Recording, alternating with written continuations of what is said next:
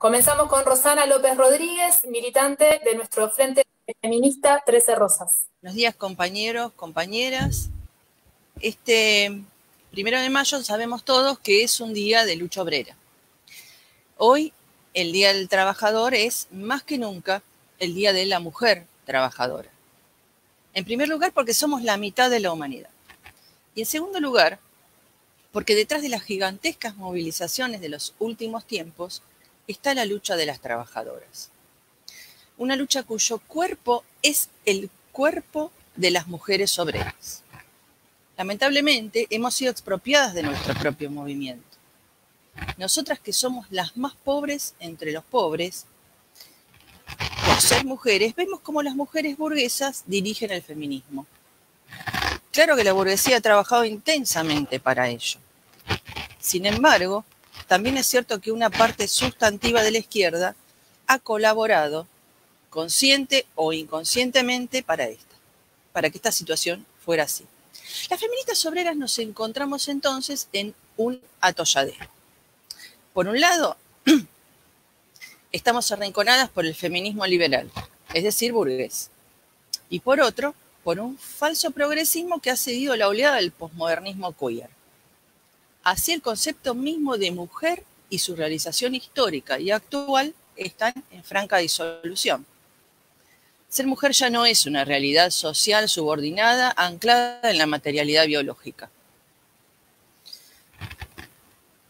Hoy en día cualquiera puede, según el delirio queer, ser mujer. ¿Cómo podremos luchar entonces contra esta imposición burguesa? Pensemos solo, solo por dar un ejemplo en el fenómeno de la violencia hacia las mujeres que llevó a legislar la figura de femicidio. Si cualquiera puede ser mujer por la sola declaración, entonces ¿qué sentido tiene la existencia de esa figura penal? Con esa perspectiva, las mujeres estamos más desguarnecidas que nunca. Pero es todavía peor que esto. Dado que cualquiera puede ser mujer, entonces cualquiera puede dirigir y representar el movimiento feminista. Así, hasta la dirección de nuestro movimiento nos han expropiado, no solo como obreras, sino incluso como mujeres. Tenemos que construir feminismo con otras personas que no tienen necesariamente nuestros mismos intereses. Y lo que es peor, se ponen al frente del movimiento. Otra vez resignamos nuestros espacios de trabajo, de dirección política, de representación cultural, frente a otros colectivos que se arrogan ser más representativos de lo femenino que nosotras mismas, que somos esa mitad de la humanidad explotada y subordinada. Las mujeres obreras tenemos que reconstruir el feminismo sobre bases realistas, no sobre ficciones posmodernas. El pseudofeminismo queer no puede ser la dirección del movimiento, no solo porque destruye el sujeto político mujer, sino también porque es un programa burgués. Su máxima ley es el particularismo del individuo. Debemos darle al feminismo una dirección obrera. Es por eso que hacemos un llamado a la izquierda y a las organizaciones obreras para que rompan con las organizaciones burguesas y se den instrumentos y organismos afines a sus intereses.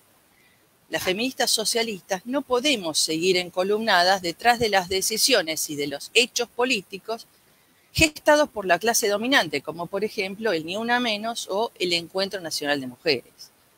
Tenemos que armar nuestros propios encuentros y nuestras propias marchas. No somos pocas, somos millones. La clase obrera no necesita que la burguesía la organice. Las mujeres tampoco necesitamos de otros para que nos guíen. Nos pronunciamos por el aborto libre, vale decir voluntario, seguro y gratuito también porque se implementen medidas efectivas contra la violencia hacia las mujeres y por la eliminación de las jerarquías sociales de entre los sexos. Es por eso que luchamos por una educación sexual integral, feminista y laica, que sea abolicionista del género, porque no aceptamos los estereotipos ni la imposición de tareas según la división sexual del trabajo. Una educación que se manifieste contra todo tipo de explotación basada en el sexo. una educación abolicionista de la prostitución y de la explotación reproductiva. Tenemos hoy sobrados motivos para construir un movimiento feminista que sea socialista, uno que represente nuestros intereses de clase y que nos permita emanciparnos de la cárcel del género. Eso es todo, compañeros y compañeras. Muchas gracias.